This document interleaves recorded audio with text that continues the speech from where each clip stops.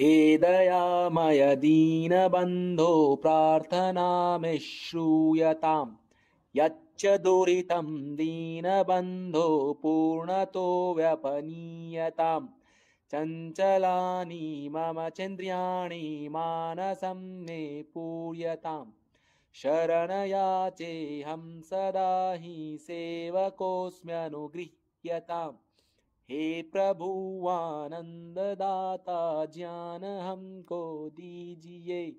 शीघ्र सारे दुर्गुणों को दूर हमसे कीजिए।